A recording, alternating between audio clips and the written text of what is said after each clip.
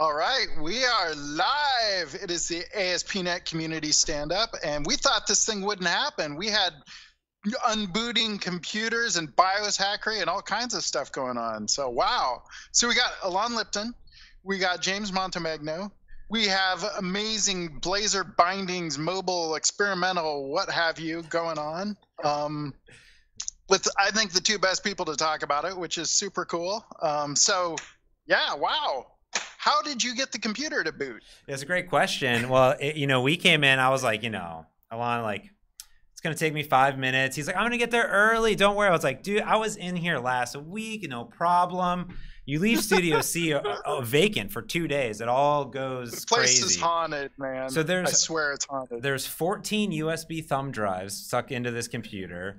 We boot it up. It won't go even to BIOS. There's, you know, it, it won't detect. It detects two hard drives, but refuses to boot anything. Yeah, nothing. And then we have this wireless keyboard that doesn't work because it's wireless and it hasn't booted the USB drivers yet. So this guy goes. He I don't know where I don't even know where he magically got a wired keyboard somewhere. I, I it was in his back pocket. Fell fell off the back of a truck. What do you know? fell off the back of a truck. And uh, yeah, I mean it. It somehow we got it working. High five. Yeah. Wow. Yeah. yeah. Just kept James just kept pressing F two on a physical keyboard. Eventually.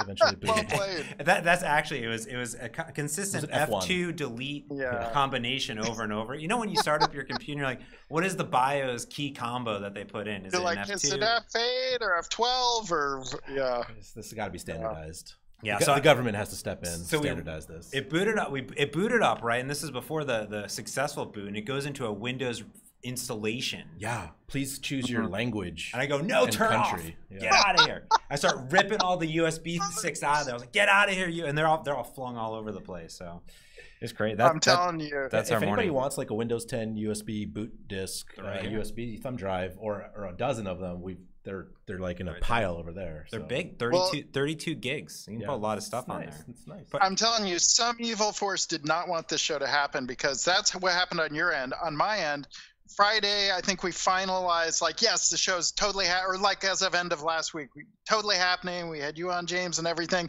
Start promoting. Friday night, I get massive food poisoning. I'm finally like back on my feet as of this morning. I like lost the whole weekend due to just lying in bed thrashing around in agony. Oh, no. So oh, no. I I think it was the same like some sort of curse. Some some evil force did not want this show happening. But we made it so, happen, and it's still made it happen. It's happening. Yes. Hey, why don't I show off some community links? Yeah, let's do it. On that note. Yes. Because I've got a lot of them, and I want to get through them really fast, so I'm going to talk fast. All right, no, don't talk. Take your time. You don't need to. You I know. I let's know, be honest. Ron over here has like nothing prepared. So. No, not really. You yeah. don't think so? I've got 38 okay. slides. All right. So first of all, Andrew Lock's got two of them this week. Uh, one, he's talking about excluding health check endpoints from Serilog. So with Serilog, you've got, um, you know, it, it it's structured logging, um, and as he points out, if you include health checks in there, it can get pretty verbose called quite a bit. There's, I mean, depending on how you're doing your, your startup probes and everything, there, there's there can be quite a bit. So what he points out is that you can in Serilog, you have this enriched diagnostic uh, content, and there's actually a way that you can override that. So they have a default uh, level, but you can create a custom log level as well. By the way, do these like nested indented ternaries turn your head like they do mine. I'm just kind of like, okay, if it's not this, just, uh, anyhow. So I think it's um, beautiful. I think it's beautiful. Well, it's good. Let's agree to, to disagree on that. I, I disagree. I don't know. It's, there's a lot going on there. So, um, uh, so anyways, he goes in and he says, "Hey, we can match on the the default for a health check endpoint is called health checks." And you know he says you can go over you can customize this if you want. Um, but he basically has something that that checks for that and then uses that in in the health check logger. And so then he says we can go ahead and exclude the health checks. Um, so um, so anyhow that's it's just nice pointing out that in the logging that you can go through in Serilog's logging you can go through and you can customize to that level. Pretty cool Another one, this is some crazy hackery. He had somebody ask him a question of how you can insert middleware between steps in in in other middleware. So, for instance, with the, the standard middleware now, you've got routing and use endpoints. So, use routing and use endpoints, you've got to insert some things between the two for them to work correctly. For instance, you've got to do use authentication and use authorization. They need to be done in a certain order. You have to be authenticated before you can be be authorized, and that has to happen before the endpoints, etc.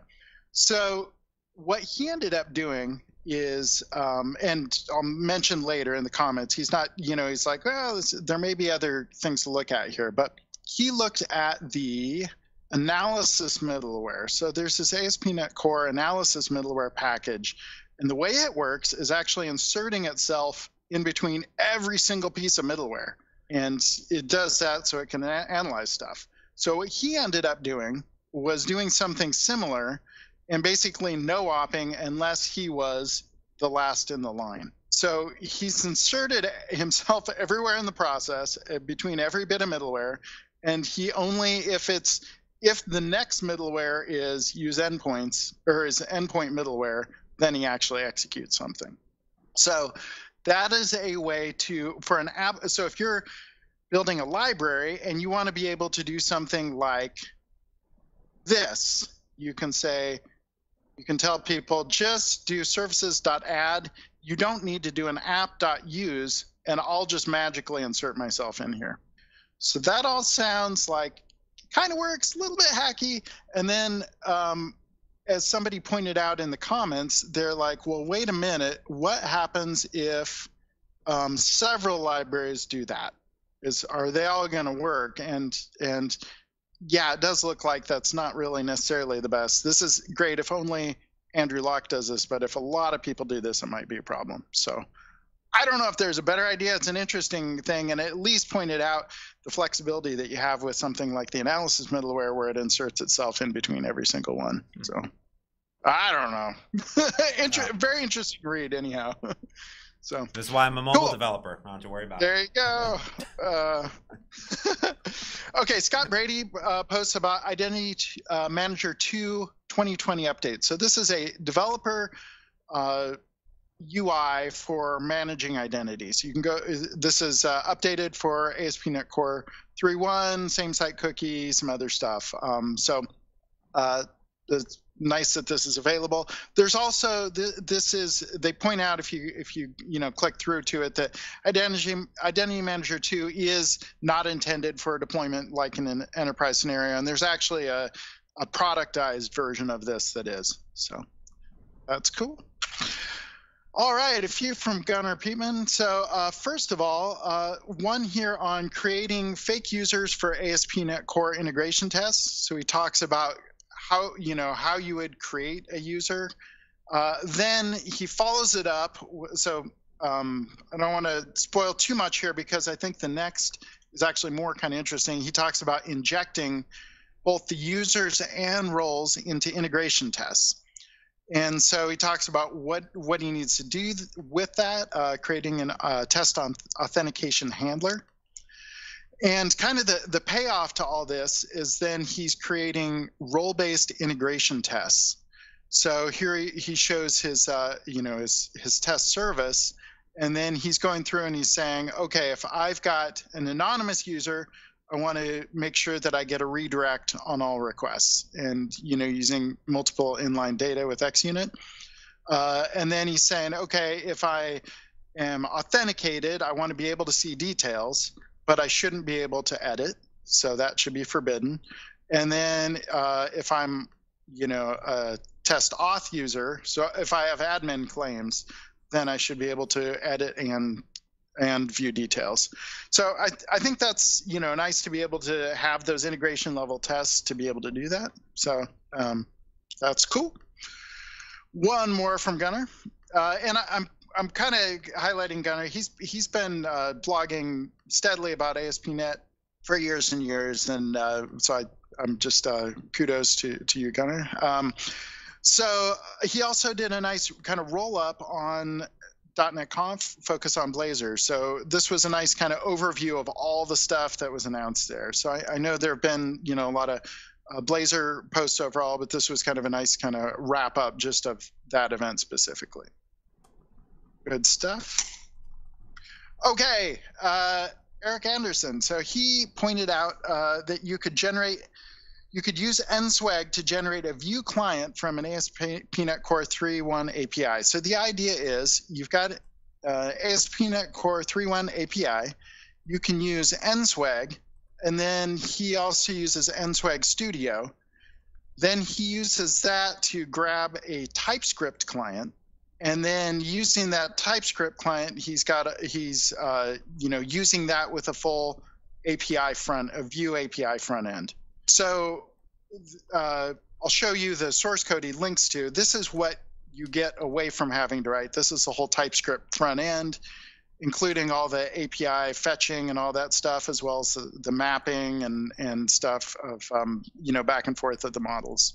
So that's kind of handy. Um, so Nice tip there. Okay, uh, Damien Bowden. Here he's talking about ASP.NET Core certificates. So this is a nice NuGet library he's created. It's a certificate manager for creating and managing uh, certificates. So he has some examples uh, both of creating certificates among a bunch of different stuff, and he points out Azure IoT is a good scenario, but also development certificates for you know for spas and then he also has examples of using certificates including some more complicated things like uh, chain certificates so i'm not a super certificate security person but i retweeted this and people seem to go crazy on twitter and really loved it. So it seems like it's an important thing. So interested in the comments if, if people are happy about that. Okay uh, shahed here he's keeping up his A through Z series, uh, and he's talking about deploying ASP.NET Core 3.1 to Azure App Service. So this includes a lot of stuff, the kind of standard scenarios, and of course the right-click publish uh, scenarios. Uh, he also talks about going through the portal, talks about uh, selecting different runtimes, using Deployment Center, and also using GitHub repos. So uh, you know, quite quite a bit here. I, I love how Shahed goes through and does very thorough kind of roll ups of a lot of different options. So it's not just like here's one small thing. It's like the thing. It's he's, he's writing the book on each of these things. So. Keeping with deployment and Azure, here we're looking at troubleshooting ASP.NET Core 500 errors. Um, so first of all, Sam points out that you can go in and and there is documentation as he points out in this in the the docs uh, that will point you to going into kudu in the debug console and just running right there and you'll find out something. In this case key vault didn't have access to something. Um, so then he goes through and and actually points out that you can uh, you can capture those errors. And it's set to um, first you'd need to do capture startup errors to true but then actually when you're deployed to azure it's going to ignore that because you're not in release. So then he talks about if you really want to capture that in azure you can go through you can set an environment variable you can set um, things up so that you basically have an environment in azure for development and you can actually capture and see those errors. So nice kind of more in-depth look. I, have definitely gone through the how to troubleshoot those errors and and you know run it in Kudu and here's here's the look at you know error handling. Um, but but nice to kind of see more in depth if you actually want to see those errors in Azure. All right, moving on to some Blazor stuff. Uh, so Michael Washington talking talking about embedding Power BI in Blazor. So it looks like a pretty good common scenario. Um, and Gunnar Peipman, again with the Gunnar, uh, he had written up something about uh, embedding in a .NET Core application. And so what Michael Washington's walking through is in, embedding in Blazor as well. Um, what I think is neat with this is just Blazor in general is kind of an, uh, I would think, you know, a nice sweet spot for for Blazor is these uh, line of business applications. And so being able to embed Power BI into that seems like a pretty natural fit. Okay, more with the Blazor. So we've got Mika posting on hosting Blazor applications in GitHub pages. So this is, you know, GitHub WebAssembly can run completely, its static files can run completely in the browser. And so because of that, you could host it in GitHub pages. However, you can run into some things because the routing, if you copy, uh, you know, if I copy a URL and, and send it over to you, the routing's not necessarily going to work on the, it's not going to work on the first run. Um, and so you need to do things like handle custom 404s. And so there's ways that you can set that up. And he actually uh, went through and created a uh, simplified solution that does all that. So he basically included the 404s um, and and stuff in a sample application. So that's kind of nice. Uh, if you're interested in doing that, you could you could use his sample application. And you know, here's here it is running in in uh, GitHub Pages, and it's it's doing the kind of standard GitHub Pages stuff. I mean, the Blazor application stuff. So it's kind of neat. Okay, we're in the home stretch. First of all, today Blazor WebAssembly 3.2 Preview 1 now available. So some of the neat stuff. Um, uh, we've got simplified startup. So you know, this is simplified for things that are important for Blazor applications and removing things that are not. Um, there's also download size improvements. So this includes the uh, code trimming for the application. So it actually trims the Blazor framework assemblies as well. So saves you another 100K, which is nice and also support for the .NET SignalR client. So this is in Blazor WebAssembly. You can use .NET SignalR client to call back to the server or call to another server. So good stuff.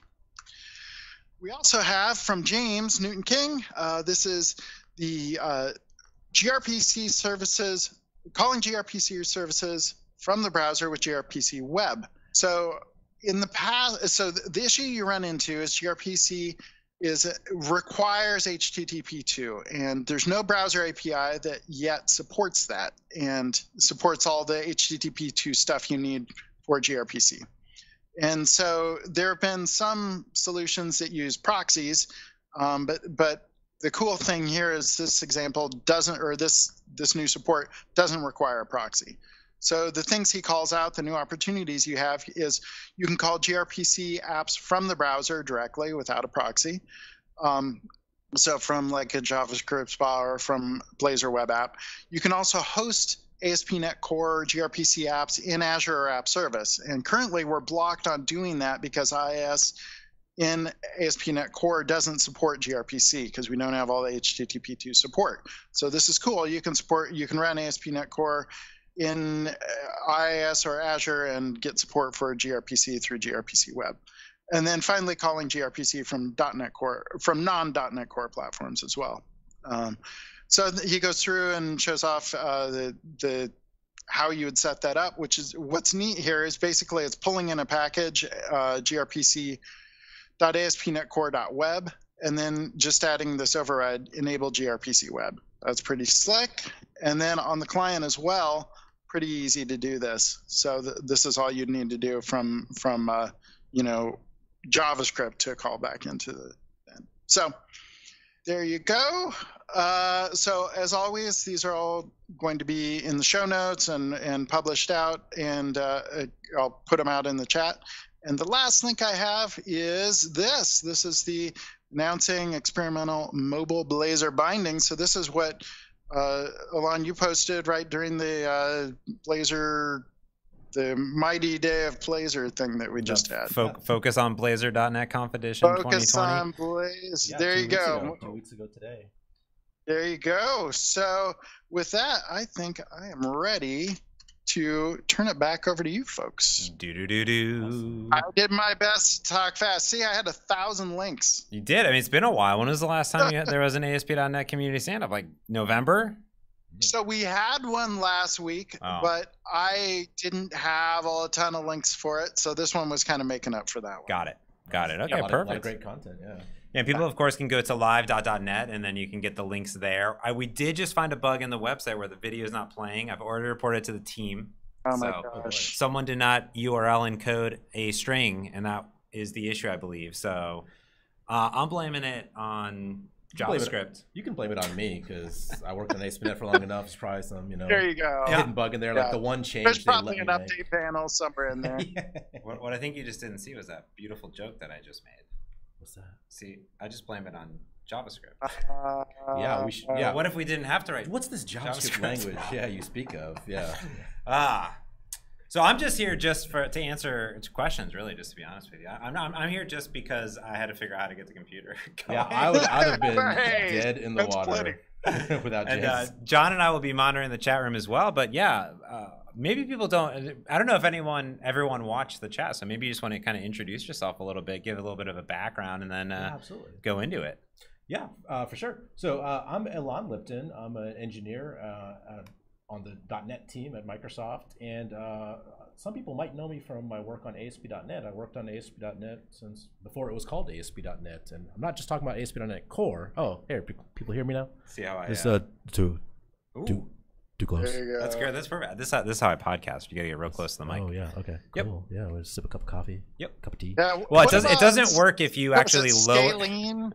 Something in my mind. Something reminds me of this word scalene. Was that a code name That from a was- thousand years ago? M- M- MVC. That's right, John. That's right. It, it doesn't work if you if you if you lower your audible level and get closer to the mic. Oh, this, this is. He's like, let me let's, get let's get serious. Let's get serious. Okay. Yeah. So um, Okay. I worked on ASP.NET for a very, very, very long time, uh, uh, more than a decade and a half, including uh, MVC and Update Panel and Web Forms and grid controls and data sources and .NET Core and ASP.NET Core and lots of really great things. And uh, more recently, I uh, decided to kind of uh, take some of those skills, some of my experience building uh, platforms for web developers, and try to apply some of those things uh, for people who want to build native mobile apps using .NET, Visual Studio, and C Sharp. And that's where this experimental mobile Blazor bindings project uh, kind of came from.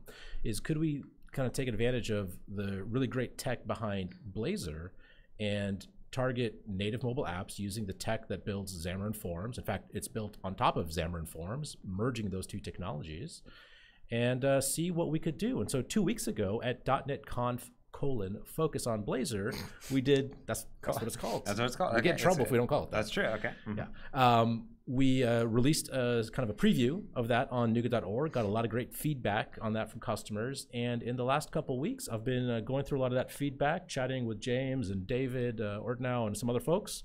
Uh, kind of learn from customers, see what do people think about it, what would they like to see next, is it something they would like to use, is it something that's not interesting uh, at all, and uh, it's been two weeks now, and so I wanted to share a little bit about uh, what I've been up to those last two weeks. So it sounds like how you pitch it here is is if you're an existing ASP.NET developer, maybe you like the Razor syntax, the Blazor model, you can build mobile apps. Else, the option today is go use something else um, and go learn something else, or stay in C Sharp, learn Xamarin, which you still have now two cognitive loads, or get closer, right? Because from my understanding, like it, it's very similar to sort of how there's React and React Native, which is like different, right? They're similar models, but different Yep, same components. programming model, different components, and that's and that's what Blazor, the Blazor mobile bindings is to the Blazor that a lot of people already know uh, with HTML.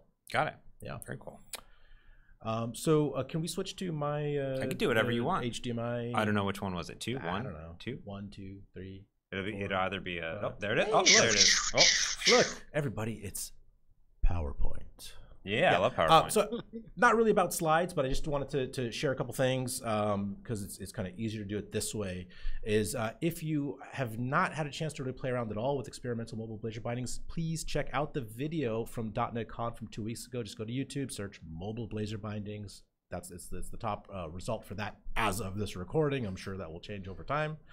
Uh, but go check that out. I, I did notice that apparently I'm wearing exactly the same shirt uh, as I was back Nice. then. Yeah, so I I do. it's been two weeks. It's okay. yeah, I I mean it's been two weeks. It's been two weeks. Yeah, if it was Yeah. like four days, it's. I mean, I mean, you might have just done laundry. It's possible. That's like your special shirt. That's your like going on stage shirt. Um, it, it might be. I, I made this shirt, so it's, it's does have your name it's- on Oh, it. nice. It has my whole family. Oh, wow, it's a whole except- family Except, shirt. for new, my newborn's names. He, he doesn't. He can't read. Whoa, gotta get me too. that's Yeah, cool. Uh, so yeah, so uh, please check out that video if you haven't already. Um, and then just to really capture the essence of uh, experimental mobile Blazor bindings, it enables you to build native mobile apps for iOS and Android using VS, C Sharp, .NET, and Blazor. So that's kind of the, the, the pitch line, the elevator pitch, if you will, uh, for that. Um, so what I wanted to, oh yeah, just for people who uh, haven't seen this before, Blazor for the web. This is a slide from from that talk. This is the only slide I've copied from from that in terms of real content. This is what it looks like with HTML and C sharp. So you have your your uh, your code in C sharp, you have your HTML that hooks up event handlers and so forth. With mobile Blazor bindings, instead of HTML, you have these mobile UI components, and I'll show how those work. Uh, and just actually, we'll write a new one, and we they run natively on Android and iOS. So you can code that up. Instead of a, a, div you have a stack layout and you have a label and a button but the c sharp code is the same. The pattern is the same pattern that you see in every blazor application regardless of whether it's webassembly running on asp.net core or in this case running on your ios or android device. And then you run the app and, and that's what it looks like. So what's what's been going on uh, in the last two weeks well, we got a question here already. Oh yeah, let's this go. Is question. Yeah. So if you go let's back to the last slide. Oh yes, is the stack layout. So Electric was uh, asking, probably maybe you can define like what are these things, right? Yeah. And then what is the stack layout and why is that required? Yeah. Um. So I can I can uh, answer the question with a question. Is, is a div required in HTML? Mm. And uh, you you could try to argue both ways. Well, I don't need it. The browser will render if I don't put a div, but it's not valid in the browser because you have to have not necessarily a div, but you have to have some kind of container that controls the layout of things to some degree. So you can think of stack layout kind of like a div in HTML, but this one is mobile and it has similar things. Is, it, is do you want it to be horizontal or vertical?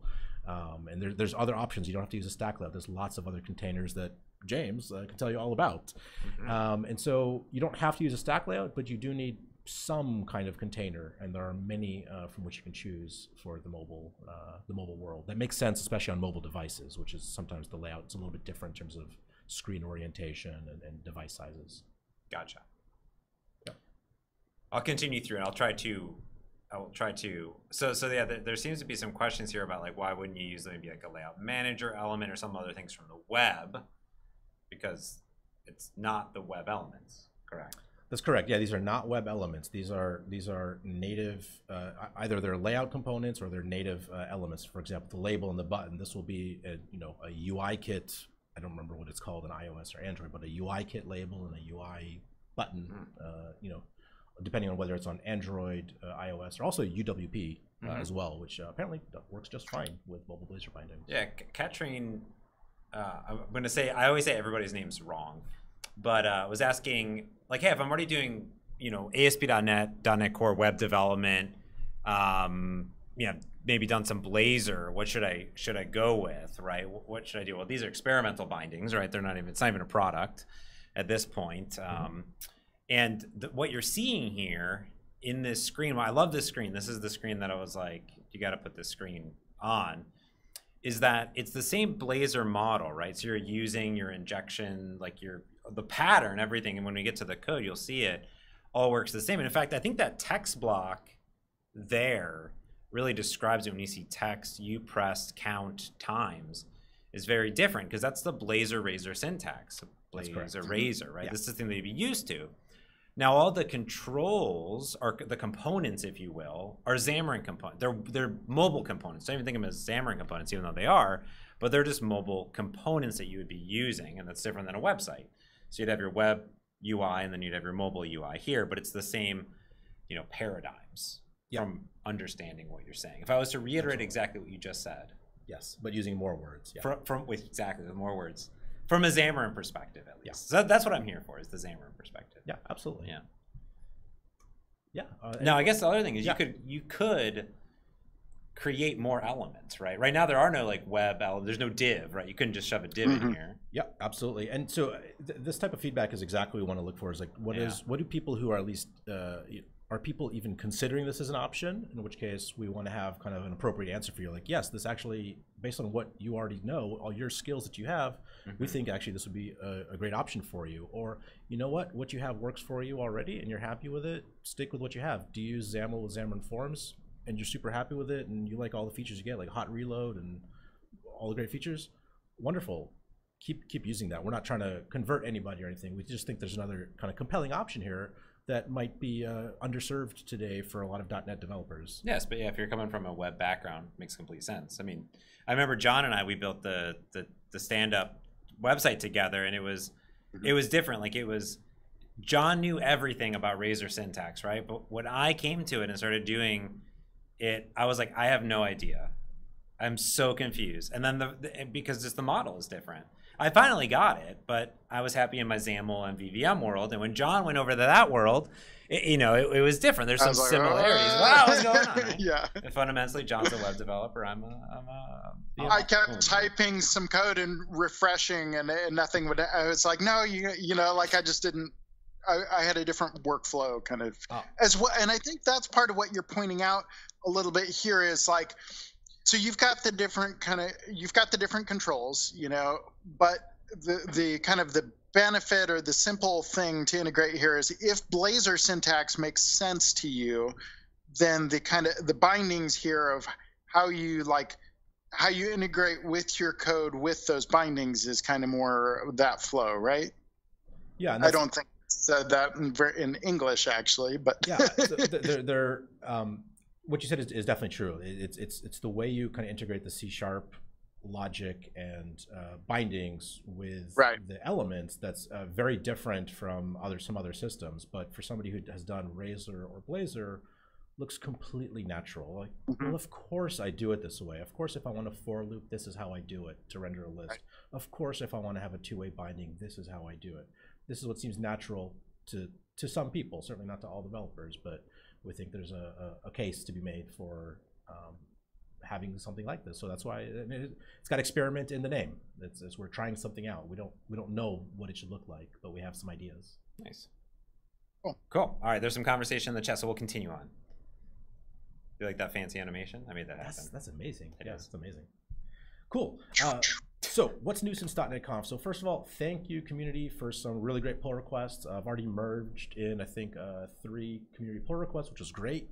Uh, to see that uh, some folks fixed some uh, bugs, uh, improved uh, the, the project for people who have .NET Core 3.1 only installed Mhm. to make sure that you can build the project if you don't have .NET Core 3. That's wonderful. So thank you to everybody from the community. There's a couple more pull requests uh, from the community that I'm uh, taking a look at. I was rejiggering a whole bunch of things, so I had to kind of take a break from community pull requests to, to work on a few other things. Uh, and then I'll get right back to that uh, uh, this week and kind of start working on some of those. So thank you to everybody uh, who also logged issues and joined in in the conversation. And so that's that's what we were looking for. And so that was really great that in, in, in just two short weeks uh, we got kind of a lot of action from from the community. Um, one of the things that I want to show uh, right now is um, how uh, how to add additional components. So Xamarin Forms offers uh, several dozen, I don't even know how many, 50 or 60 uh, components, uh, or maybe more, I'm not sure. It's a lot. Um, yeah, In the box? yeah, in, in the box. It's ever growing. Yeah. I mean, the, we just shipped like three brand new ones. Yeah. And they're all super crazy customizable. Yeah. 50, 60 at this point now. Sounds about right. Yeah. I think so. Um, and so I adjusted the noise and audio for everybody. So let me know how it is, Michael. I got you. I saw, I saw comments coming in. So, Wonderful. Um, and so to make those com- Xamarin Forms, those rich Xamarin Forms components available to people using the mobile Blazor bindings, they have to be wrapped. Now, this was a completely manual process, which uh, not only was somewhat tedious, was also, as it turns out, very error prone. And so, uh, despite my efforts, I, I had some typos and I messed a few things up. And so, uh, some folks uh, on the team here, as well as I think in the community, suggested, well, why not have a, a generator? And I, I kept poo pooing the idea, saying, ah, it's too complicated. Well, at 1 a.m. this morning, everybody in the house was asleep, and I was furiously typing away. And if you don't believe me, check the check the commit on GitHub. Uh, so it was ju- just before 1 a.m. Uh, this morning. Uh, I, I finished writing the generator and replaced uh, all the parts that are replaceable in the handwritten code with generated code. And the idea being is that, uh, well, I only because I was manually writing all the components, I you know could only write so many because I had to work on other things as well. Well, with the generator, when it comes time to add an additional component, it's uh, just a few clicks. And so I want to show what that looks like, and um, I'll be going through kind of all the missing components. And so the the component generator takes in uh, this text file, where you list all the components that you, all the Xamarin Forms components that you want to create wrappers for. Um, some of them are commented out because like the element is, is the base uh, component in the Xamarin Forms world. That Mm. that's one's a little special because it's it's like the object base class, if you will. So you don't want to auto generate that because it's it's a little special. Uh, and then some components are just uh, a little too complicated for me to auto generate, so I, I, I'm, I'm avoiding those.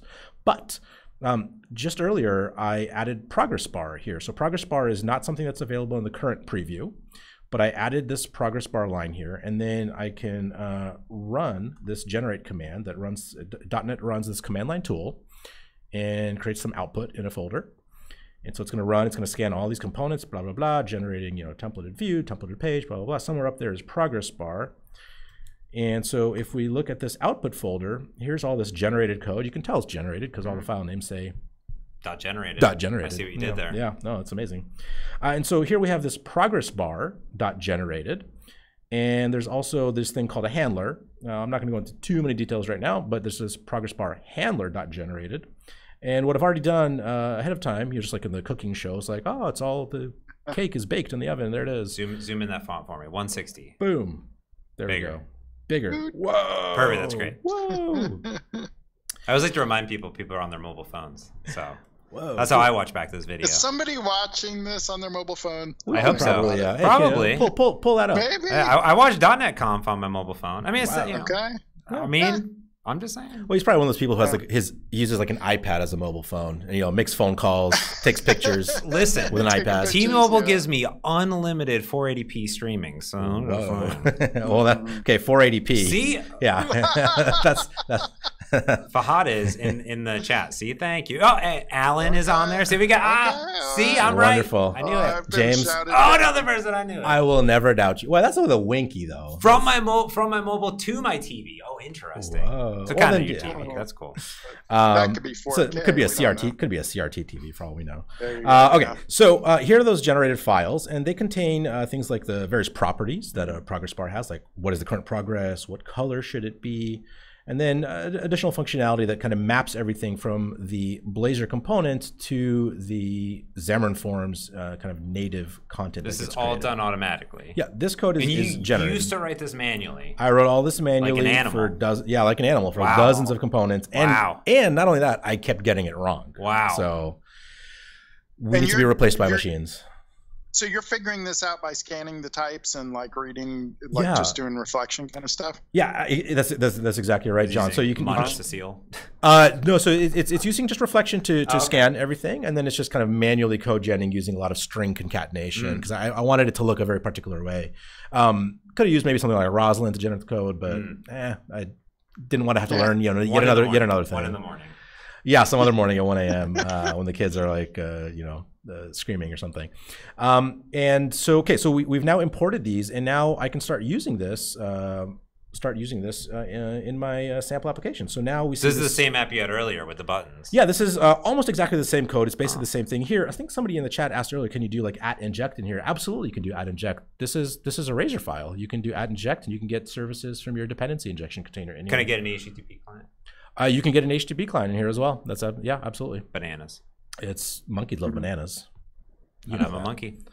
Uh, so here we could do something like uh, get a progress bar, and we could set its current progress to something like uh, 0.5, and set its color, uh, progress color to I don't know what's a what's a good color? Red. Red. Wow, what made you think of red? I don't know. what am I wearing? Uh, red, red. red.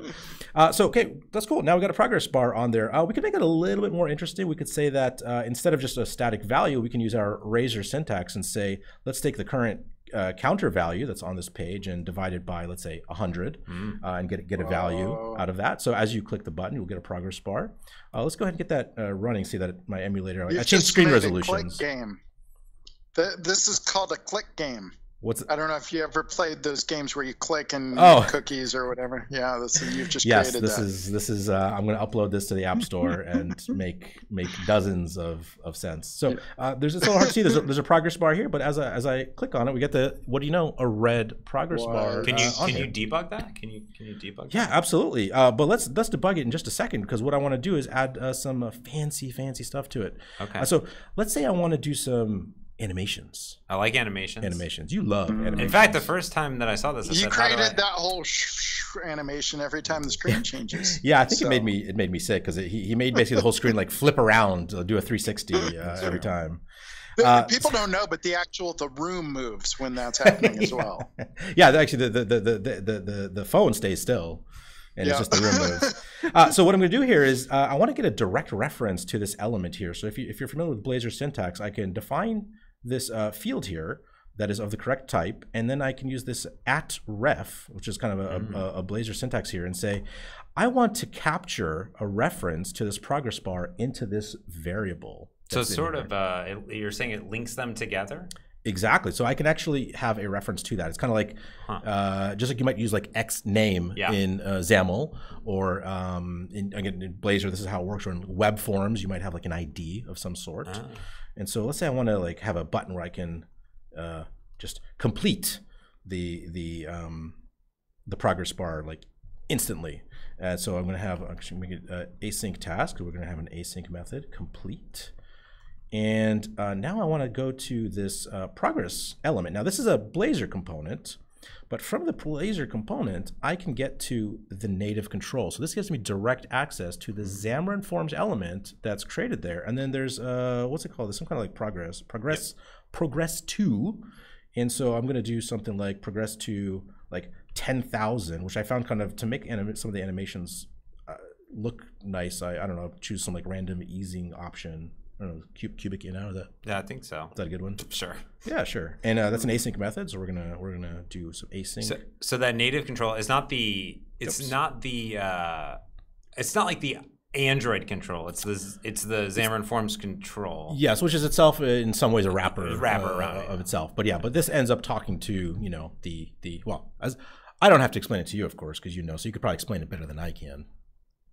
James. Yeah, I mean, so there's there's a there's a so what's being displayed. If you pull up your emulator right now, what's being displayed on there are native Android controls, and in the Xamarin Forms, it abstracts those into a common common API and adds properties that have data binding and a bunch of good stuff. All those things that you saw, that progress, that progress color, those may not exist on every single platform. So they abstract it into a common common API, and it's it's sort of like a shim pass through down. So so Xamarin Forms handles all the layout and how you do grids and the stack layout, things like that. Um, and then it just displays the native control. So what you see is a native button, and, and that click event just gets propagated up to Xamarin Forms, which is getting passed through into um, into the the mobile bindings here. Yeah, that's exactly what I was gonna say. Yeah, and as Jam Jamit says, that's pretty cool. That's pretty cool. So uh, let's go ahead. And set, let's set a breakpoint. Uh, in uh, actually, let's, uh, let's set let's set, let's set two breakpoints. Let's go wild. I love breakpoints. Break, breakpoints are free. I'll just set as many as I want. uh, let's uh, get the debugger attached Break- here. There should be a Visual Studio thing. Breakpoint all lines, and just every line. And So let's get this uh, running. So I added, uh, so the pro- the progress bar is still there. I added an additional button uh, to to kind of co- complete the progress uh, kind of instantly with a little uh, animation. The animation might not show up uh, too well over the video because it, it's I think kind of a, a fairly quick animation. Uh, so we can uh, hit that button there, and so uh, we got the breakpoint. So the app counter is currently, well, I don't know why it's not showing. Oh, I guess maybe it's why isn't it showing? Why isn't it showing? Oh, because it's is it not a public member? Why is it? Why Oh, there it is. Oh, was it was it there? Did it, did it just like take a second? Yeah, it just took a second. Oh no, it didn't. No, no, it's just, it's just dot dot dot. It's just an integer. Hmm. How funny is that? Hmm. Yeah. what if you do appstate.counter? Yeah, how funny is that? It even kind of just says like type here. That's kind of weird. Magic. Yeah. and it still works. yeah, it it does work though. Blazor. Yeah, It Blazor. still works. Yeah. Uh, so so I'll, I'll, I'll take off that breakpoint because I'm going to press the button a whole bunch of times. I don't want to kind of step into the debugger every single every single time. So we see the, the, the progress bar incrementing just as it did before. And now when I hit complete, we have uh, this uh, this line, this breakpoint get called, and then well, okay, uh, we kind of missed it, but um, so yeah, I don't know if I can. Well, yeah, it's going to be hard to see the animation well, once that's there. But trust me, it animated uh, the the progress bar. So this is a, a great way to kind of see that this this does not replace Xamarin Forms by any means. This this quite the contrary. It it it uses Xamarin Forms and it exposes Xamarin Forms because to do things like animations, there's not really a, a, a Blazor syntax for animations or anything like that, nor, nor do I necessarily think there even should be. Uh, what you really want to do for animations is talk to those native components and say, like, hey, Xamarin Forms, you know how to talk to Android, you know how to talk to iOS, you know how to talk to UWP. I want to do this animation with all the built-in logic, the best way to render things. You do it and, and talk to the to the OS rendering layer and you know do the right calls to make all that stuff happen. Mm. So in in literally just minutes, we we authored a new component, got it built in uh, mobile Blazor bindings, and then uh, used it in an application. What about like all the you know existing con- controls that are out there, custom third-party controls from for Xamarin Forms already? Because really, if you think about it, like you just kind of considered these as Zam as, as third-party controls to you, right? Mm-hmm. But if there was a popular library out there that maybe oh, like say pancake view. I do like pancakes. Yeah, you love pancake. I mean, I'm a what? waffle guy, but you know, I'll, I'll, I mean, I'll, I'll, what, know, what is a waffle but a pancake that got run over? Or it has abs. Oh, I was a lot, of abs. we were on holiday and I went to this uh, waffle waffle truck, and it was like uh, waffles, pancakes, but with abs.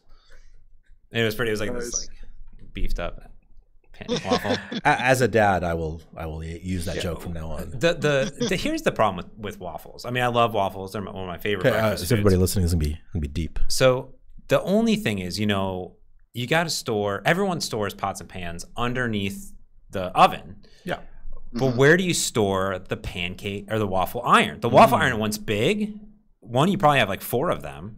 I mean, just in, I mean, if you don't, I mean, come on, you need a Belgian one, you need a round one, you need a Death Star one um, a BB-8 one. I mean, come on.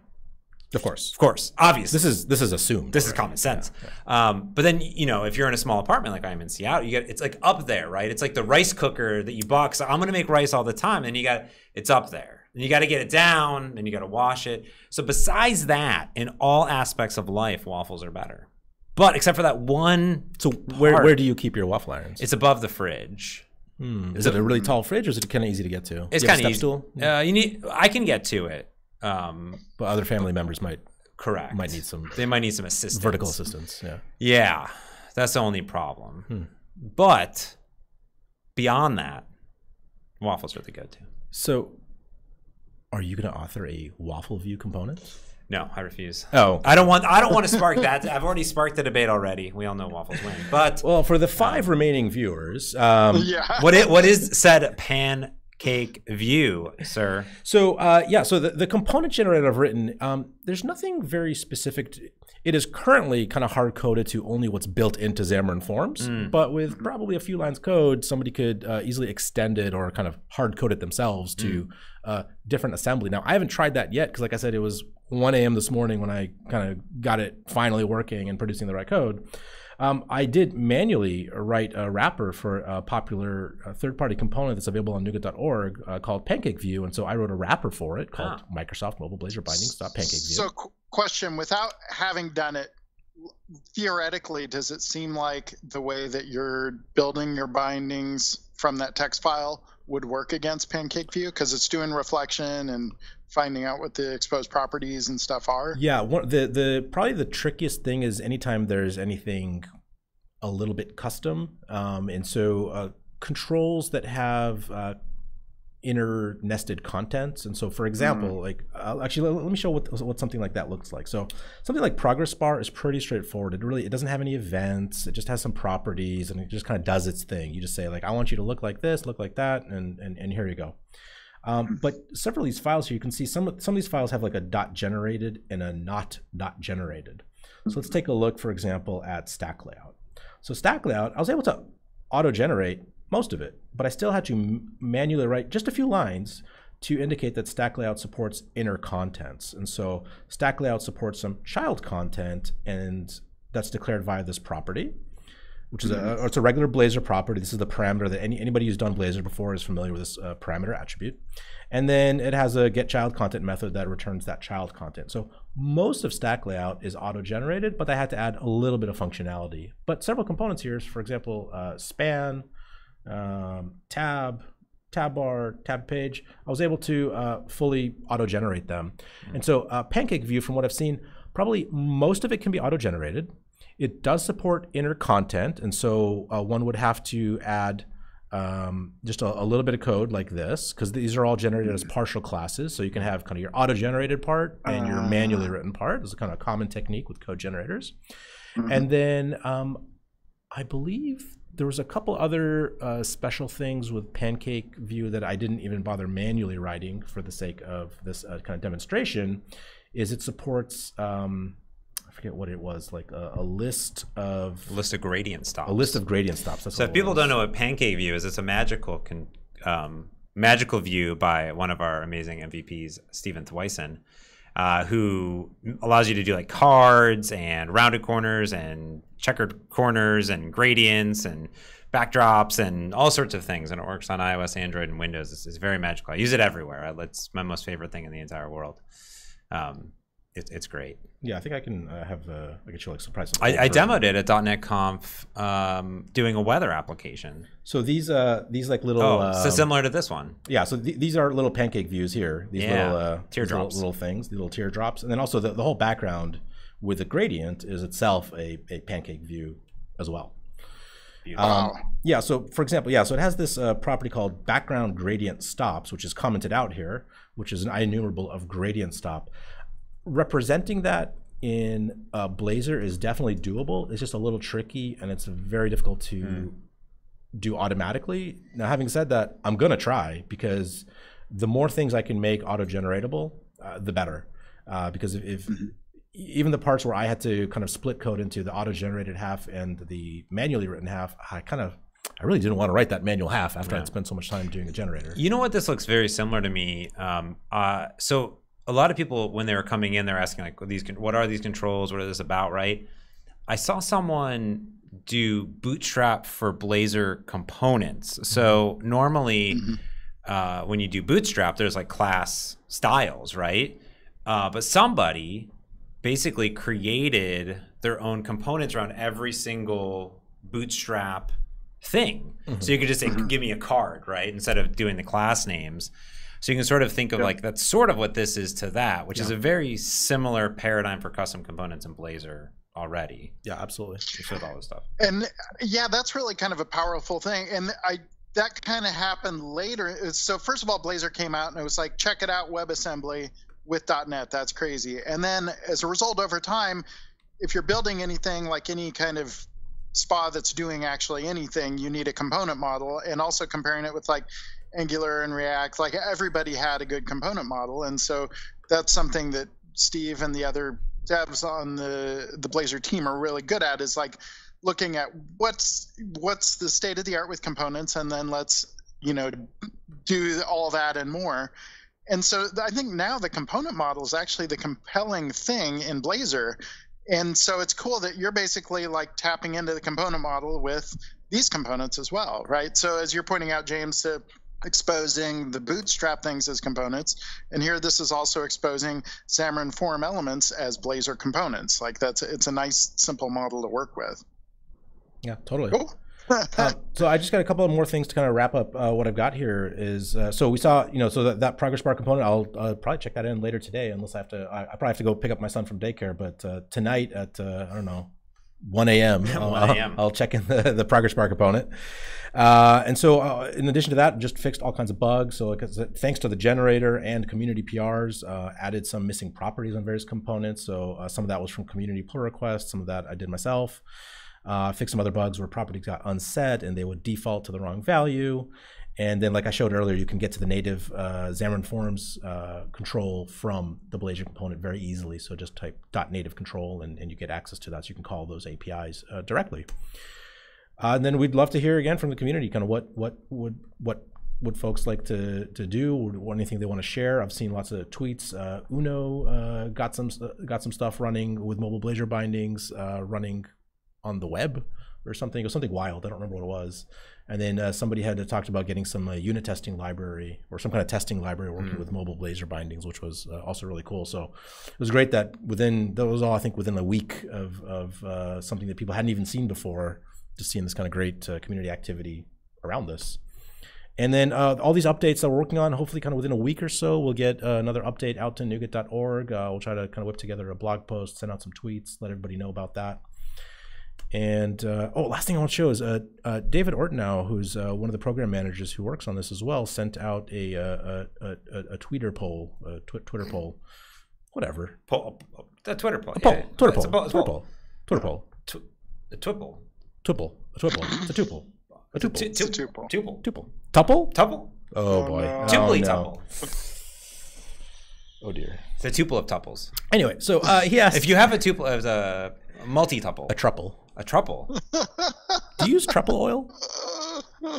truffle oil. Tru- tru- That's all the time we have this week. Anyway, okay, so I, I just want to show this uh, this uh, Twitter poll that uh, uh, David uh, sent out uh, just a couple days ago, and uh, kind of asking what would folks like to see uh, for uh, what kind of app model would they like to see uh, for uh, for building mobile apps, uh, cross-platform apps, actually, I should say. And uh, it was kind of interesting. Uh, there were thousands of responses, and the, the poll just closed, I think, uh, earlier today or yesterday. And uh, it's, it's no surprise to see XAML, uh, of course, very popular. But Blazor also uh, actually, you know, you know, kind of slightly edged out. Now, th- this this doesn't, you know, um, it's, it's a Twitter poll. It's not scientific, but it's kind of great to see the the the excitement out there and that there is some interest in folks kind of seeing stuff like this. So I'm going to keep working on this uh, and get some updates out there. And uh, based on feedback, we'll we'll keep iterating and, and sharing more uh, as we make progress. Yeah, you know, when I saw this poll come out, it, it sort of made a lot of sense to me in a way because there's web developers and client developers, right? And there's, I mean, even if you're building for the same thing, the, the paradigms, right, uh, call to you, right? I think. Uh, so, so this poll being like 50-ish, 50% in some ways, the co- combined forces make, makes quite a lot of sense, actually. Yeah, and I think the, the, the, the number of web developers is a larger number than the number of mobile developers uh, out there, at least certainly within the .NET platform, which is kind of a lot of probably who's re- responding to this because they're probably using .NET if they're using XAML or, or Blazor or Comet. And so, um, but nevertheless, yeah, just seeing, you know, it's, it's fairly even, I, I agree, um, Yeah. kind of between those two, and that uh, there's, we know there's a lot of people excited about XAML and there's a, lot of people excited about Blazor. Where do people go for for this? Oh, yes. Does it live on the internet somewhere? Boom. Yeah. Oh, oh there uh, it is. just- yeah. Oh, there we go. Uh, so check out the the GitHub repo. Uh, so Xamarin slash mobile Blazor bindings, and then uh, Twitter follow uh, uh, David, James, and myself, uh, and then the amazing hashtag mobile Blazor bindings, which has like I think like three. Nice. three, three tweets on it. All Uh, by you. uh, yeah, yeah, two out of three, I think, Nice. probably. Uh, so uh, let's let's make it a thing. Um, yeah. So yeah, ch- ch- check those out. Uh, you know, file issues, start discussions, uh, and, and you know, send tweets and and uh, let's let's get stuff out there. It was fun. I think the the first time I sat down, I was like, okay, how do I how to make a, mo- a list of monkeys, and I got it working. Yeah. And they animated. Yeah. Animated. Animated. Yeah. Animated monkeys. Yeah. Yeah. James and his monkey APIs. You have to have a monkey API, or else. Yeah. What's your platform good for? Yeah, That's true. Yeah. What you should do though, you should save the animation for like V2. Otherwise, where do you go from there? I mean, uh, it peaked. So. so Jeff says, absolutely amazing. Um, think about writing their first mobile app with it. Very cool. If you have any questions, we, we have a little bit of time left, so people can because we started late. There's uh there's debates versus waffle versus pancakes, which makes a lot of sense. John, do you have any questions? You're you're a you're a ASP.NET developer. No. No, I mean this was really interesting to see kind of walk through here. Um, gosh, I, I honestly don't. I just want to play with it. You should go do that. Live stream right now. well, There we go. download download the preview. Uh, so Blizzard Mr. Magoo asks, well, specifically, what, where does it work today?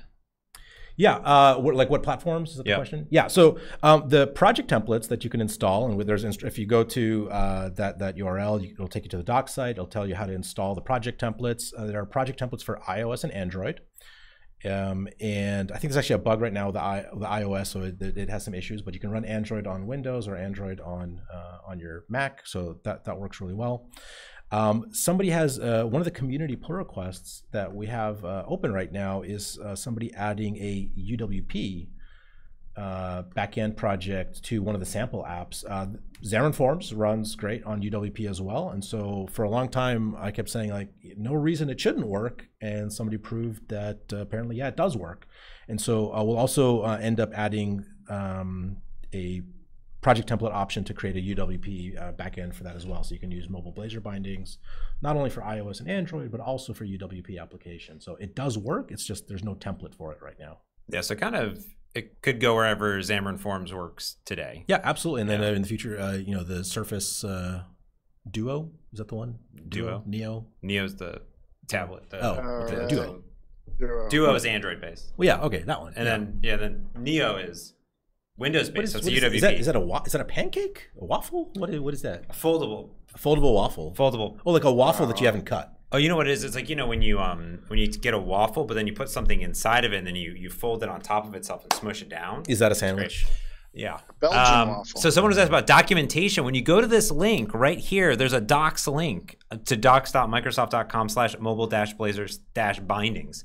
Short URL. I'm sure that John right now will just type it right into the chat room and make it happen. Yeah, I've have to. already added it to the community links for the week, by the way. Wow. yeah, some- Amazing. somewhere Step here. ahead. Yeah, doc, it says docs.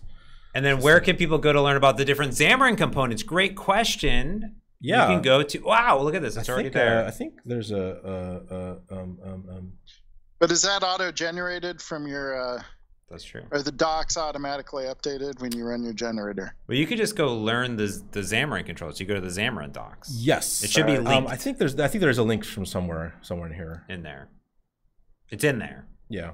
Here. There's there's there's probably a link somewhere. But yeah, well, uh, yeah, just check just search for Xamarin Forms components, um, and you'll you'll find the, there's there's really great docs. I had to read a lot of those docs to understand for myself how to use a lot of these components. I'm, Yeah. I'm fairly new to uh, mobile development. I'm I, I have a web background, not not mobile, so I had to learn that as well. But uh, well, that, that, that's great feedback. If it's if it's not easy to find, we'll make sure that it's easy to find. So Jeep was asking from YouTube, um, can they use similar web tags like div? We talked about this earlier, but like maybe like an H1 or something like that? Or is that is that not that's not there? Yeah, so so that that's that's definitely not there uh, right now. It's something that kind of within the team, some of us have, have talked about. You know, wou- wouldn't it be neat if I could say, you know, something like uh, div? Now, this isn't this wouldn't be an HTML div. This would be a mobile Blazor uh, component named div. That maybe it's really just a stack layout, but instead of having uh, something like an orientation property that's of type uh, stack orient the stack orientation enum, uh, maybe it has something, uh, you know, some kind of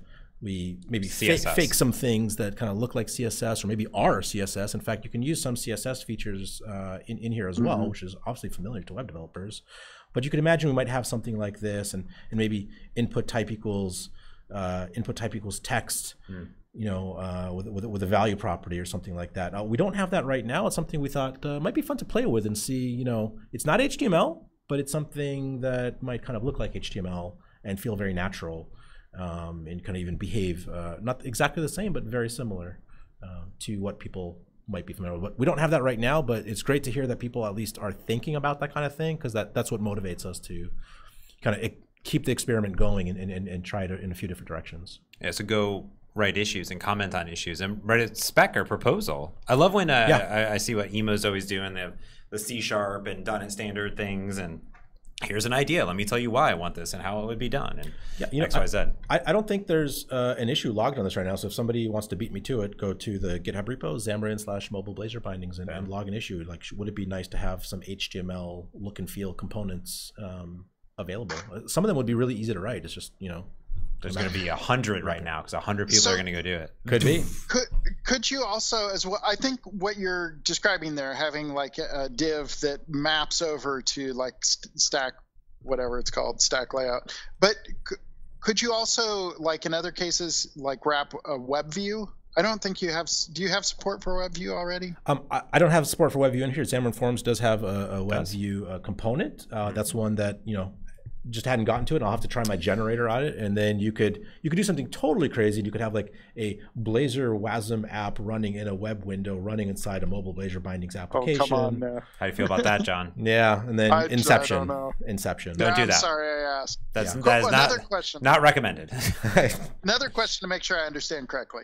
This is completely like a design and build time thing. What I'm deploying to my application, I'm not like deploying any extra magical stuff. Like it's just straight up Xamarin Forms when it's deployed to the app, right?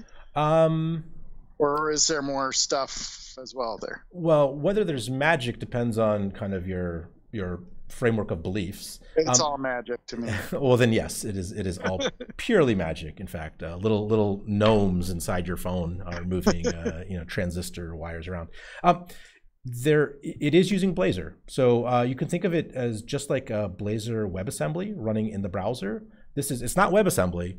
Uh, it's running .NET code, uh, but it's running on your device, but using the Blazor um, okay. pattern. So Blazor works based on uh, creating render trees and diffing them, and based on the diffs, it creates the element. It creates and destroys and modifies elements that did not exist in the previous iteration of the render tree.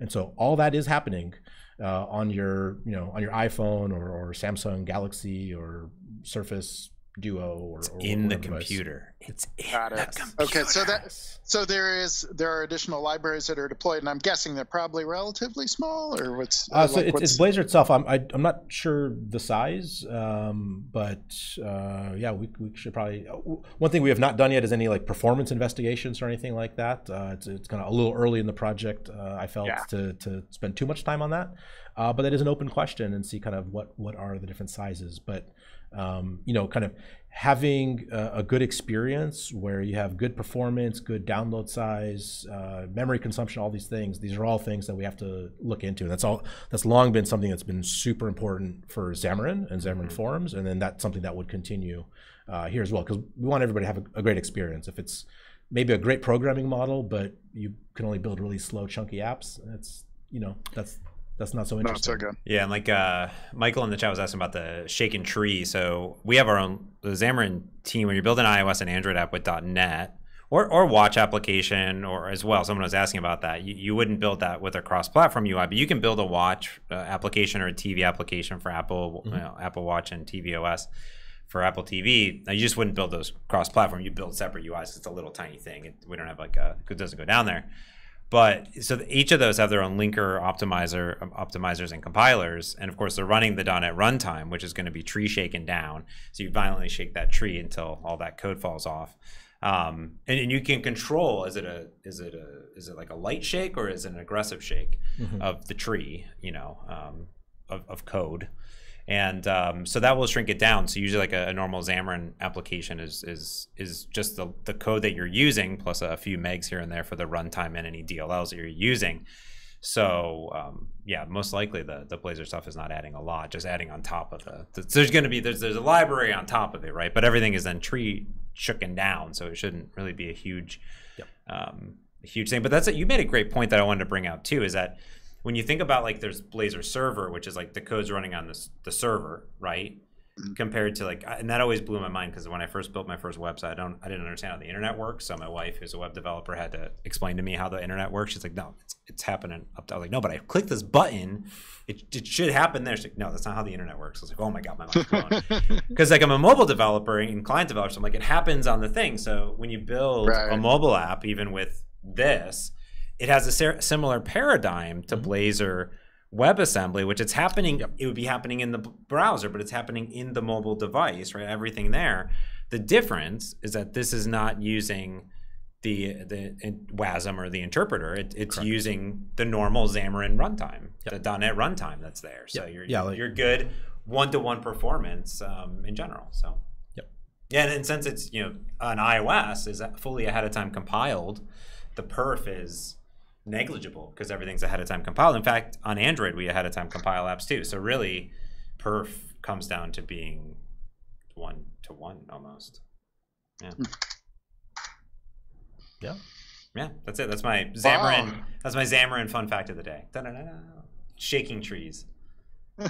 I mean, that's the only analogy I could think of. Of um, yeah, but I mean, J- John, it's also something you mentioned earlier because you're talking about um, the uh, Blazor WASM uh, 3.2 preview one that came out, and that uh, from mm-hmm. uh, Dan Roth's blog post that they, you know, they they saved another 100 kilobytes, and you know, it's, it's you just chip away at at, at it with re- removing anything that doesn't have to be there. And so, yes, it is adding some things to have Blazor, but um, it's, in some cases it's in place of other things. So it might be in place of some uh, some XAML components that you might have or some logic that's there.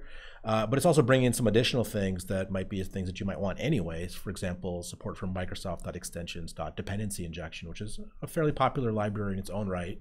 Yeah. Uh, or things like uh, logging and configuration that, again, might be things that people want to use anyway. And so while, yes, it does uh, mandate bringing those in, those might be things that you wanted to use anyway, or this might be the motivation somebody needs to start using these libraries to make their development experience uh, smoother, easier. Um, they have to kind of think less about what they're doing. They can, they can solve their business problems and not worry about how do I do dependency injection. Yeah, yeah, less custom code or less kind of cobbled together a bunch of maybe overlapping dependencies. Here you have the .NET frame, or you you, have .NET Core, which has all this stuff kind of all provided for you. Yeah, So Tri- tried and true. One one question too, because there's some questions about like, oh, what if you just you know, what if you just built a mobile app and did a, oh, you know, WASM or you did just a website, right? And and that always comes down to me native look and feel, but also native APIs. You didn't even talk about accessing native APIs at all. Yeah, um, you have access to native APIs. Well, how? Um, well, you're the expert on that, James. You- you- well, so that's the beautiful part about Xamarin is being built on top of Xamarin is that they're available inside of C Sharp, all of them, and Yep. you can use awesome libraries like Xamarin Essentials that give you access to all, not all, but like 60, 70, 80 different um, native APIs from a cross-platform API that you could use in that code block. Oh yeah, that's you know actually I don't have a sample of that in here. That's something that I showed Wow. at, at, at, You dot, should- at yeah. .NET Conf. Yeah, yeah, I do. I do have a sample here of, of talking directly to the uh, speech APIs. So you could also use dependency injection. Yeah, yeah, So this uses this sample uses dependency injection. Apparently, I think Xamarin Essentials has now uh, text to speech. That's uh, correct. I copied this apparently from a sample that perhaps needs to be updated. Yeah. Uh, I think that one is like here's how you use dependency injection, but then like you don't need to use that anymore because we already already did it. Yeah. yeah. So, it's, So- here's how you would do it if you needed to. In this particular case of text to speech, this is the iOS version. This is the Android version. This is talking to this is talking to Android, Android, APIs, yeah. and this one is talking to iOS APIs in C sharp. from C Sharp. Yeah, I've not written any native code whatsoever. It's just these are these are .NET projects, and then I have an interface that I wrote uh, that I that I use from within my application that I stole from a sample probably, um, and you know I, I changed the namespace to, to match what Nice. I wanted. Um, and that's my contribution, and uh, this is certainly one way to do that. But you know the, the, the best way wherever you can, which is more and more cases every day, is Xamarin Essentials, which Mm. lets you uh, use uh, geolocation and uh, GPS and um, camera and phone dialers and web browsers and all the, all the things that you need to do on a All mobile the device. It might be the essential things you need to do. yeah, yeah, Nice. yeah. Critical, Critical Xamarin dot critical critical, Yeah. Not criti- Yeah, critical. yeah. well, look, it's after 5 p.m. California West Coast time, so it's quitting time. AKA John is sick of the terrible humor on this side of like, t- yeah, Teams yeah. chat. I have to pick up my son from daycare, so. All right, cool. Thanks everyone for tuning in. Don't forget to subscribe, hit the bells, and do the things. Thanks, John. All right, All right, bye. thanks everybody.